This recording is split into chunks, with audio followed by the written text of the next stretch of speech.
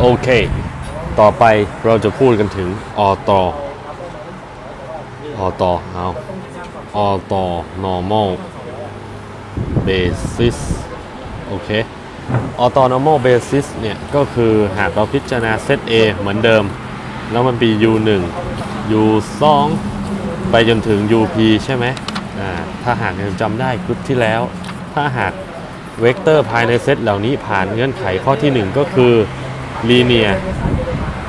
independent ก็คือมันเป็นอิสระต่อกันใช่ไหม อันดับที่ 2 มันตั้งฉากกันทุกคู่ ถ้ามันผ่าน 2 เงื่อนไขนี้ไอเวกเตอร์เหล่านี้มันจะเป็นออตโกน a l basis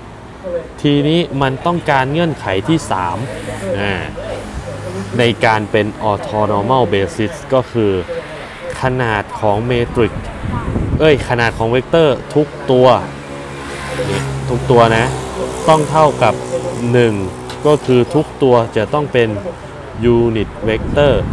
ถ้าเวกเตอร์เหล่านั้นในเซต A ที่เราพิจารณาเนี่ยผ่านเงื่อนไข 3 ข้อก็คือเป็นอิสระตั้งฉากกันทุกคู่ และความยาวของเวกเตอร์ทุกตัวเป็น 1 ไอเวกเตอร์พวกนั้นจะเรียกว่าออต่อ normal basis